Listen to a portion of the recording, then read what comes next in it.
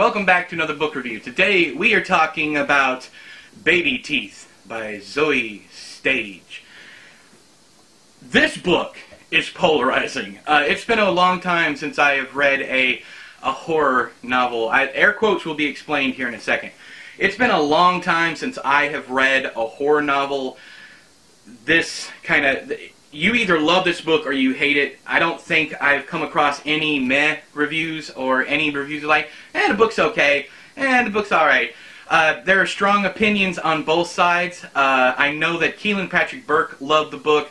I know my friend uh, Don Gillette, uh, he despised the, the book. Uh, it's not too often, at least I don't think, that he gives one-star reviews. It might have been one or two. I can't remember if it was two, but I do remember oh, his his review was chez magnifique. I, I feel that there there's that I'm going to be saying some stuff that is going to have some of you when it, when you read this or if you've already read this looking at me like what this book is hilarious. There were numerous numerous times, um, and it wasn't until probably the last third of the book that I I really had any serious feelings for any of the characters on the page. I almost said on screen. That's why I did air quotes. Today is a day of air quotes. You know what? Let's let's go to Ebert and have Ebert tell you about the book, and then we'll come back here. Meet Hannah. Seven-year-old Hannah is a sweet but silent angel in the eyes of her adoring father, Alex. He's the only person who understands her, but her mother, Suzette, stands in her way, and she'll try any trick she can think of to get rid of her. Ideally, for good. Meet Suzette. Suzette loves her daughter, but after years of expulsions and strained homeschooling, her precarious health and sanity are weakening day by day. She's also becoming increasingly frightened by Hannah's little games, while her husband Alex remains blind to the failing family dynamics. Soon, Suzette starts to fear that maybe their supposedly innocent baby girl may have a truly sinister agenda.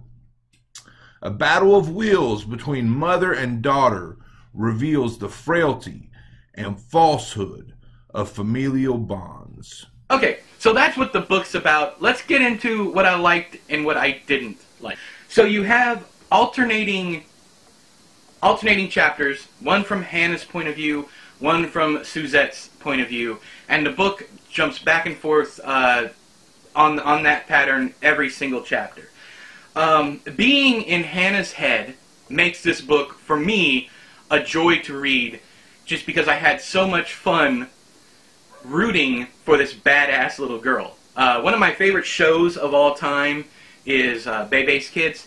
Uh, Robin Harris was hilarious. Um, I hope I'm get, I always get him confused with Robin Thicke, and I know it's not Robin Thicke, but I might have gotten his last name wrong. Uh, he was hilarious as a tragedy. He was he died very early. Um, in well, I, I believe it, it was early. You know, for for his for his life. Um, he could have done so much so much more. The the book watching this child fuck with this woman, mess with her constantly, gave me a lot of joy. I was laughing constantly. And there's one part in this book where I was I laughed out loud to the point of tears with uh, one child hitting another child, and it was the visual image was great. Now, did the book miss the mark with me? Um, did the book did I do, do, I think that it's a bad book because it's not the horror story that some people claim it is? Uh, Kealan Patrick Burke goes, "This I don't I don't know that it was he he brought up Sour Candy and he brought up this book along with it. Sour Candy's his book. It's not. I don't think he was comparing the two, but I think he said if you liked my book, you're gonna you're gonna love this one. I disagree wholeheartedly. If you like Sour Candy, this is not what you want to read next uh, because it's not scary. At least not to me. Being a father of two kids and knowing how kids act, Hannah, it does escalate. But at the beginning, beginning, Hannah just acts like a badass little girl. There's nothing supernatural about it um, or any of that. I, I guess that's that's kind of a spoiler, but at the beginning, there's nothing supernatural about it. You know where she's getting her ideas because you're in her head. So you're, you're kind of on board with the whole thing. And there's a lot of people, even on Goodreads while I was talking about this book, who were like, Team Hannah. Yay, go Hannah. and part of that is because Suzette, even though she is a a tragic figure with um, her with her Crohn's disease and her stomach resections and the scarring and the brutal uh, pain that she's been through and goes through all the time. Even though all that, she is a miserable fucking person to be inside of. Like she, I, I could not stand when I had to read from her, other than when I knew Hannah had set up a trap or I was waiting for Hannah to do that. Once again, I know there's going to be some of you out there going, That kind of makes you a bad person, dog. The book's ending's fantastic. That was one of the biggest things that my friend Don, I think he, I, I think it was the biggest thing, is like, that was it? That's the whole story?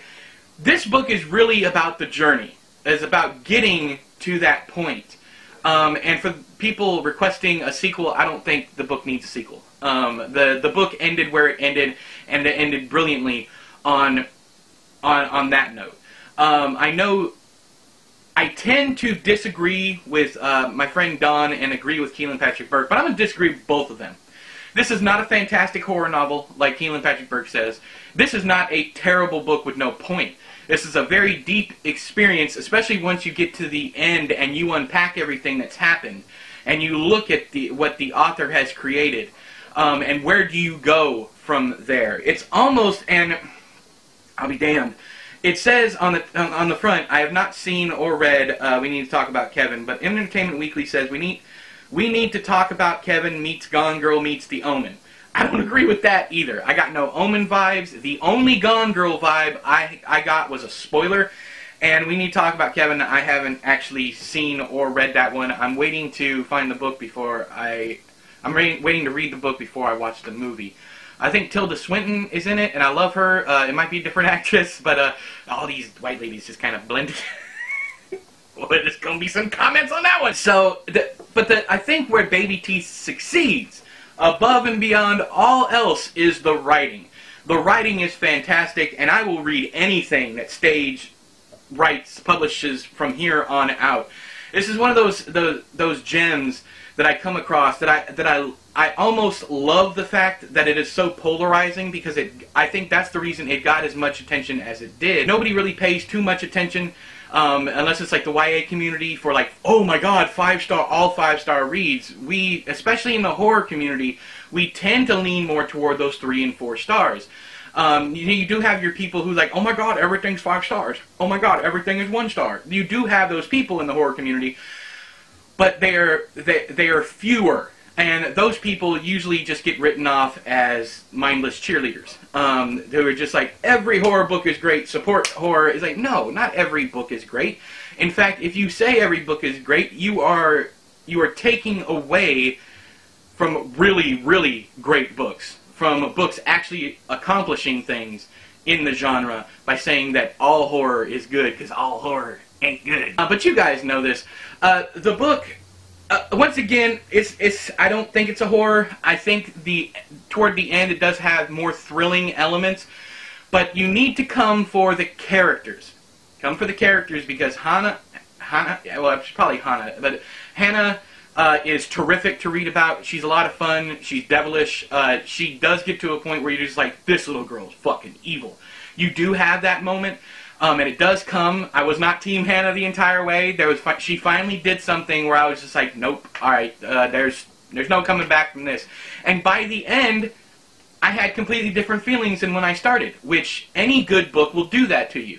And I think that's another reason why this book is so polarizing, is because people read this book and they're expecting one thing, and then by the end of the book, it's completely different from what you might suspect is coming or what you might suspect for a denouement or an ending or wrap up, whatever you want to whatever you want to uh, call it. But this is a far more literary experience. Uh, so if you don't like great writing, uh, if you don't care about great writing and you don't care about characters, if you are all there for the plot, if your cup of tea is uh, Nelson DeMille and James Patterson, this ain't the book for you. Um, if, if your cup of tea is uh, Bentley Little and Richard Laymon, you're not going to like this book.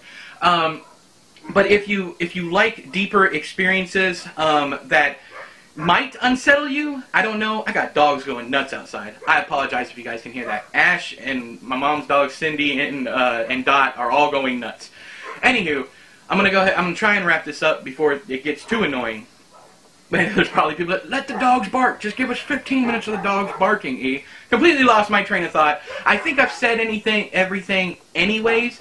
Uh, I recommend Baby Teeth, but only on the stipulations that I said just before I realized the dogs were barking. So, have you read Baby Teeth? I would love, love to hear uh, your opinions on Baby Teeth, especially if you are one of those people who's just like, eh, it's a book that exists. If you're one of those people, then then I would love to hear from you. I would love to talk to you about why it affected you none at all. I wanna, I wanna, I wanna talk to you about that. But if you loved it, I'd love to hear from you. If you hated it, I'd love to hear from you. Uh, if you don't know, when I ask you to talk about stuff down there in the comments, I, I don't want to hear, hey, this book sucked. This book was great. I want you to elaborate. Let me know, just like I did. I just spent the past however many minutes sitting here telling you guys what I liked about it. I want to hear the same from you. Um, in fact, that's why I like my friends to have booktube channels because we can, I can just hop over there and go watch it. It keeps you from having to type a novel down there in the comments. But anyways, um, let me know what you thought about the book if you've already read it. If you haven't, I suggest you do. Uh, easily, easy four stars. Um, I'm taking one away because I wanted a horror experience, and it's not a horror experience, and I still think it was supposed to be a horror experience. Uh, but uh, yeah, I'm just I'm gonna take away one star for that aspect and that aspect alone. But until next time, I have been E, you have been you. This has been another book review. I'll talk to you guys later. Bye bye.